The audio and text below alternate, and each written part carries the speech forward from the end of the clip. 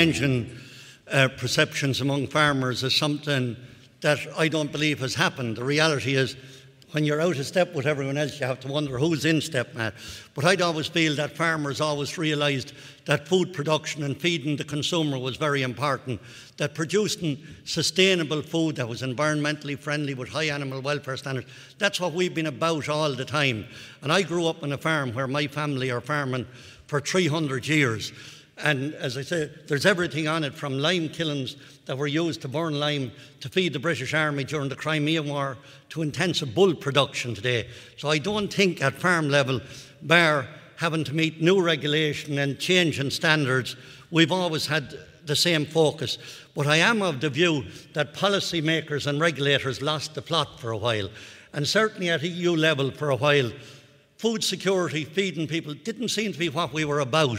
And Lars was here this morning and I was debating a bit of it over dinner. Food security is so important. The growing world population, that's a target out there. We've always, as farmers, had the laws of supply and demand. When there's too much of anything, the farmer gets nothing for it. The minute it gets scarce, we become appreciated again. And the change in the Irish economy has probably brought a bit of reality to people. And while the huge deficit that was spoken about earlier on and the pressure we're under, the huge unemployment, is a huge threat for Ireland. But we need to get back to basics and look at what we're good at. We've always been good in Ireland at producing food and to a high standard. We have advantages that several other countries haven't, whether it's our green grass, whether it's an abundance of water, and a very well skilled farming force that's out there that have put a huge investment into their, into their business. Farmers invested over 4 billion in infrastructure over the last few years, whether it's the dairy industry, the beef industry, or our brewing industry. The agribusiness has geared up substantially over the last few years. We've made a huge investment and we're well positioned for any growth that's out there. We've bought into sustainability. We've bought into the higher standards that the EU demanded of us. But the one thing we ask in return is a fair price for what we produce. The reality is, in several years, farmers have sold food below the cost of production. This is not sustainable. The reality is, even in 2010, we've heard that agricultural incomes were up. 94% of agricultural income still came from support. So you can see how important the Common Agricultural Policy, sustainable policies at European level that recognise the importance of food security and put an emphasis on that. The emphasis, we've no problem with greening. My view is that we've embraced it over the years. Permanent grassland, biodiversity. We meet much higher standards than most of our European counterparts, but we have to get credit for that. It's no use just in the morning saying, we'll take a chunk of the single farm payment and we'll give you less of it to do more. There has to be an emphasis on paying people who meet these standards. It's well accepted that here in Ireland we have a very low carbon footprint, whether it's kilo of beef or kilo of dairy products, dairy solids. It doesn't matter. Our grain, uh, it's accepted that they meet high environmental standards, but we have to get, and Aidan spoke about it there earlier on, up the market chain. One of the things that, when you look at it over the years, agricultural production has been rising the percentage that the primary producer has been getting has reduced. The farmer has taken a lower share of the end price.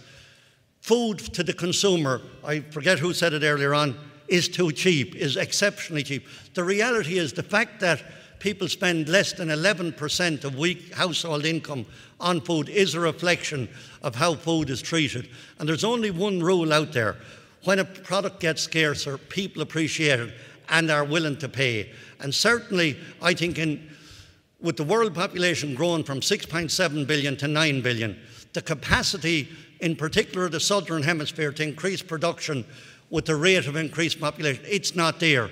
So there will be increased pressure on countries like Ireland, the UK, France, Germany to produce more food. And we can do it in an environmentally sustainable fashion.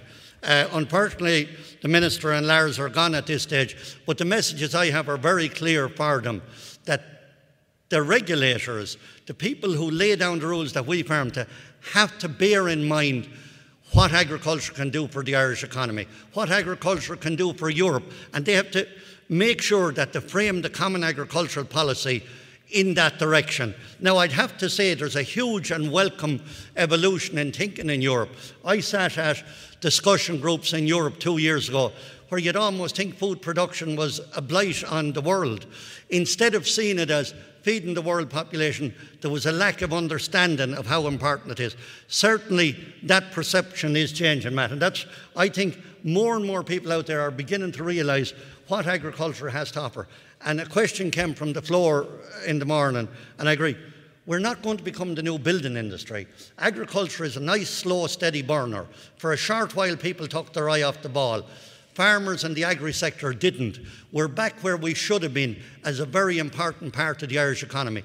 We have a lot to contribute. We need a proper regulatory system that acknowledges that. And there's a prize there for everyone. There's a prize for the farmer, there's a prize for the processor, there's a prize for the retailer and the consumer. But there has to be a partnership that everyone gets their fair share in the food chain. And as I say, if I have one message here, it's that to acknowledge the importance of agriculture to the economy, because I'm very conscious agriculture and food. You won't have a food business without a strong agriculture. And that's probably the message I have for the European Commission and the government. And I certainly welcome the strong stance that Minister Coveney has taken since he's taken over as Minister for Agriculture. He's grown into the brief and acknowledging how important it is. And there'll be a serious test of his resolve in the budget in the autumn. But the one message I always have is value for money. Every euro you spend, you have to get it back there. And agriculture is the one sector that any euro put in in the Irish economy will deliver over and over again. Thanks, Matt.